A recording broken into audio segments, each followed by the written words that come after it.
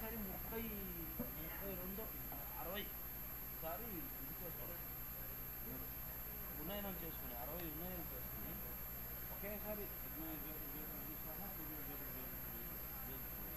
పూర్వ సహా రెండుకి వేరు వేరు మళ్ళీ రెండు అగ్నిహోత్రాలు సాయంకాలం సాయంకాలం విద్యుత్ రెండు కలిపి ఒకసారి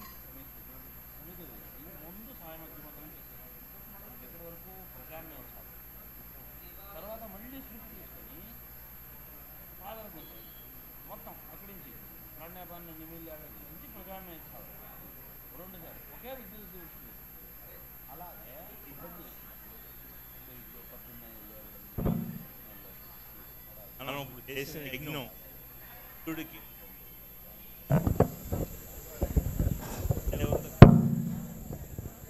మనం ఇప్పుడు చేసిన యజ్ఞం ఇంద్రుడికి విష్ణువుకి.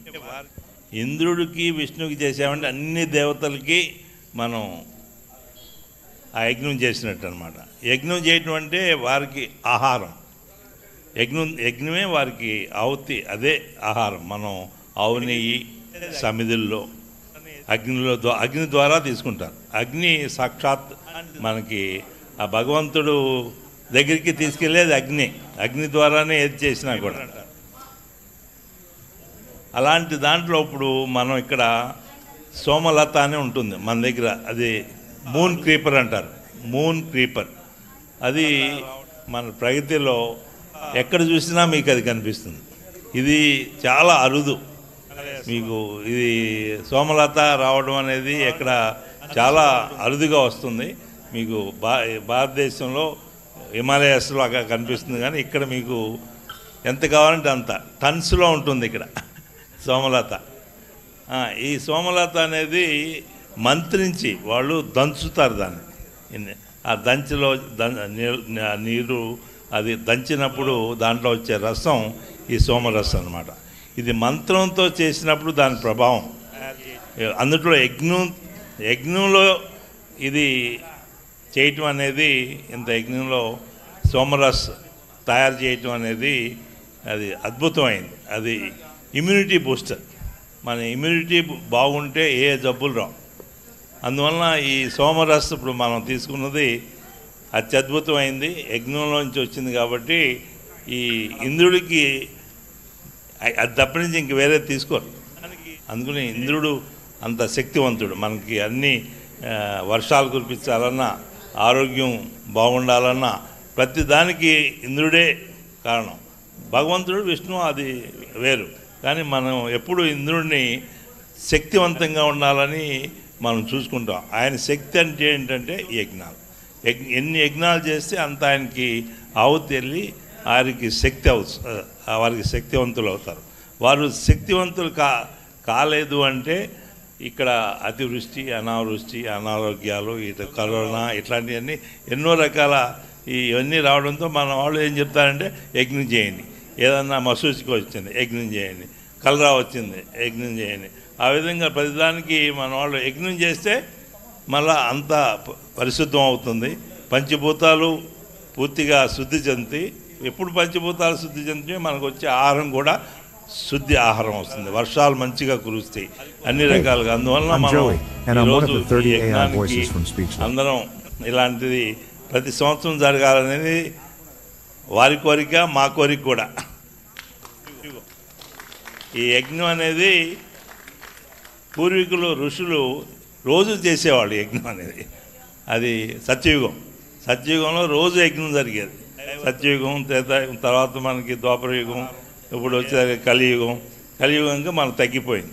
సత్యయుగం. రాక్షసత్వం పెరిగింది రోజు దైవత్వం తగ్గింది మనం తీసుకునే ఆహారం ఏ ఐసే మన్ రోజు అన్నాన్ని బట్టి మనం తగ్గింది తీసుకునే ఆహారం ద్రావకం తీసుకుంటున్నాం? మంచినీళ్ళు ఫ్రూట్ జ్యూసు ఏది ఇట్లా ఇట్లాంటి సోమరసం ఇవి తీసుకుంటే దీని యొక్క ప్రభావం దాని వేరుగా ఉంటుంది. మన రక్తం. మీ బాబు రక్తం రాలేదురా అంటారు.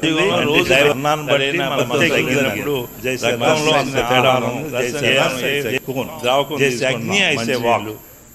అగ్నిని బట్టి కూడా మన ఇట్లాంటి స్వరపీఠిక సోమరసం అది తీసుకుంటే బాగా మంచి ప్రభావం దాని వాడుకో శాంతి రావణాసుడు వాడే మాటలకి మీ బాబు రక్తం వారు